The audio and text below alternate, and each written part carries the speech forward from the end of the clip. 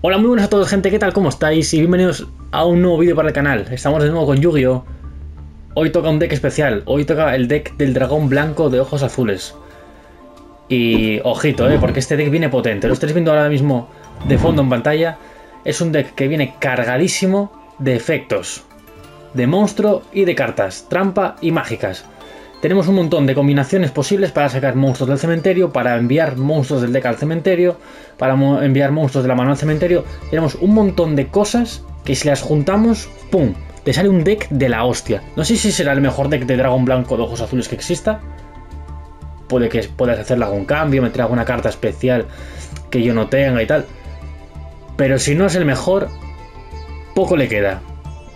Lo estáis viendo en pantalla, o sea, es que es la hostia. Tenemos cartas potenciadoras de campo, tenemos el renacer del monstruo, tenemos tres dragones blancos, tenemos otros tres dragones que pueden hacerse pasar por dragón blanco porque cambian de nombre al estar en el campo.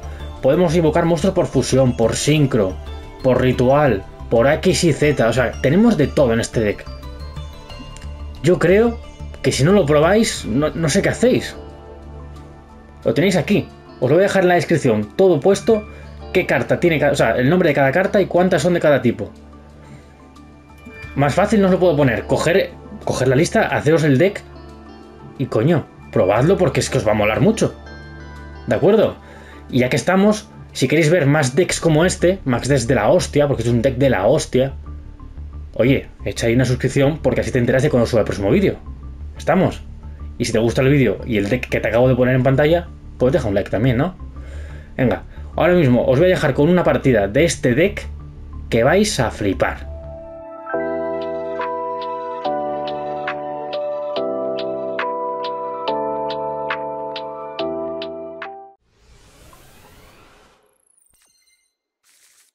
Ok gente, y lo dicho, aquí tenéis el duelo que os estaba comentando.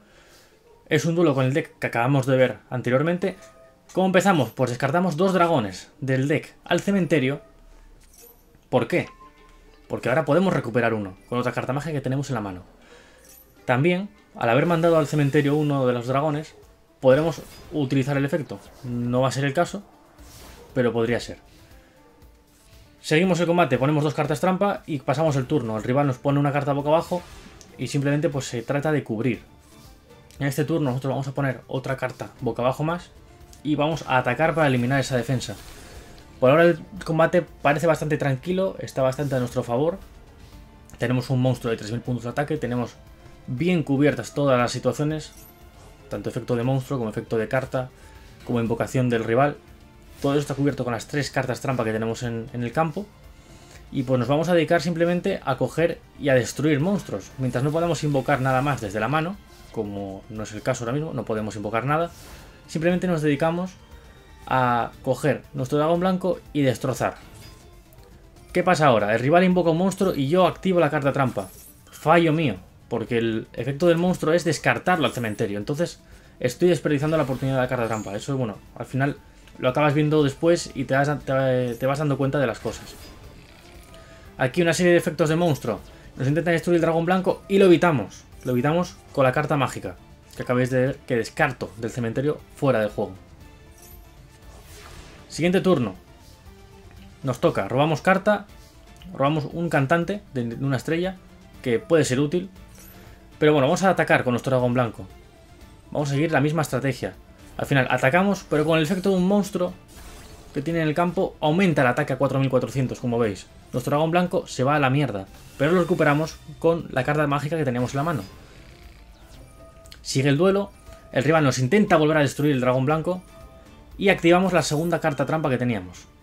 Esta carta nos protege a nuestro dragón blanco de efectos de monstruo y demás, no puede ser destruido en el turno. Por ahora vamos salvándolo bien. Invocamos el cantante y vamos a invocar ahora, por sincronía, el siguiente monstruo. El dragón plateado de los ojos celestiales. Es una carta muy buena, ¿eh? Carta muy buena.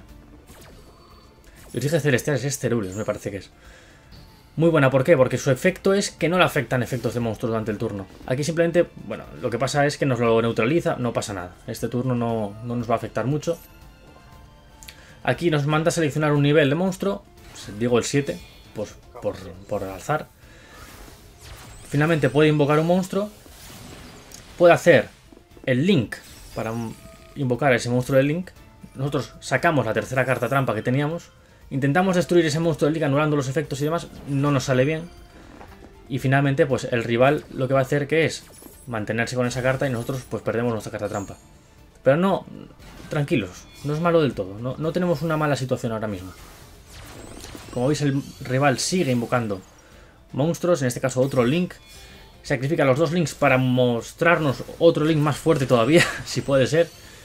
Un Link de 3000 puntos de ataque. Nos va a atacar y nos va a destruir el monstruo. ¿Por qué? Porque utiliza un efecto del, monstruo de Link.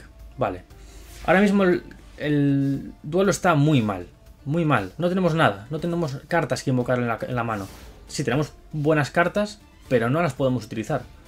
Simplemente pongo la carta mágica para intimidar un poco. Pasamos el turno, nos ataca. Recibimos el golpe. Bien. Y robamos carta. Carta muy buena para esta situación. ¿Por qué? Descartamos el dragón blanco al cementerio y robamos dos dragones del, deck. Estos dos dragones que hemos robado han sido el dragón blanco y el dragón blanco definitivo, ¿vale? ¿Qué pasa? Que el definitivo se invoca de forma especial mostrando el blanco. Yo invoco el definitivo y utilizo la polimerización, que es la carta que acaba de poner en el campo, para fusionar los dos monstruos y sacar al dragón explosivo de los ojos azules. O sea, jugada maestra para cómo estábamos. Atacamos con el dragón, como habéis visto, y nos resta puntos. ¿Por qué? Porque el rival seguía teniendo el efecto de monstruo.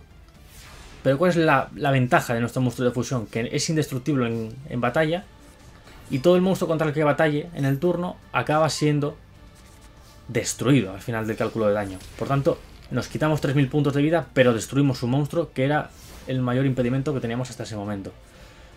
El duelo sigue, está llegando al final. Nos, va a lanzar esta carta mágica, que es muy putada. Pero nos cubrimos bien con la carta trampa de la criatura de los ojos azules, creo que se llamaba. Vale, perdemos el cantante, no pasa nada. Y estamos ya llegando al final del duelo. Tenemos un cantante en la mano, lo invocamos boca abajo, en defensa. Y llega el turno del rival. Le hemos atacado. Está un turno de ser debilitado. Va a hacer ahora una conjunción de cartas mágicas con efectos de monstruo y demás. Y veis que nos la va a liar. nos la va a liar y bastante. Empieza a descartar cartas del juego. O sea, saca cartas fuera, invoca un, monstruo. Este monstruo lo utiliza con la carta mágica. No sé muy bien lo que hace ahí. Total, nos destruye el monstruo de fusión y nos destruye el cantante, la piedra blanca. ¿Qué hacemos ahora? pues vamos a, vamos a utilizar el efecto de la piedra blanca para volver. Bueno, para volver no, para coger un monstruo, ojos azules del deck y mostrarlo al campo. Lo ponemos en el campo. Volvemos a utilizar el mismo efecto de la piedra. Bueno, el mismo efecto no, el mismo efecto de la misma carta. Para coger, descartar la, la piedra blanca del campo y cogernos el dragón blanco del cementerio y ponerlo en la mano. Aquí nos activa un efecto y nos destruye la, la carta que teníamos en el campo, no pasa nada.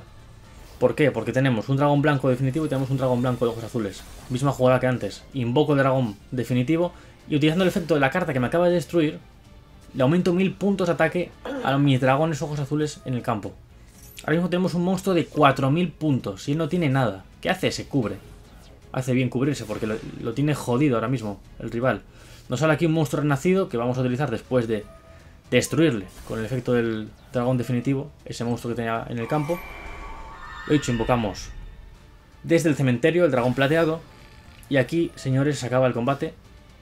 Victoria sufrida, pero victoria muy buena. En un combate que creo que ha sido muy bonito de ver. Espero que también de escuchar por mi boca.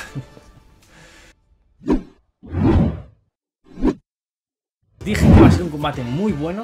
Y ha sido un combate de la hostia. Ha sido un combate de los que mola ganar. Después de ganar esto, dices, va, me puedo tomar una cerveza y quedarme tan ancho. Si os ha gustado el combate, podéis dejar ahí abajo un like para hacérmelo ver. Y si queréis más decks increíbles, queréis que pruebe decks nuevos, decks de fusiones, decks de sincronías, decks de X y Z, dejadme abajo en los comentarios y suscribiros. ¿Para qué? Para no perderos el siguiente vídeo, porque seguro que os va a encantar. Un saludo, yo soy Wer y nos vemos. Hasta luego.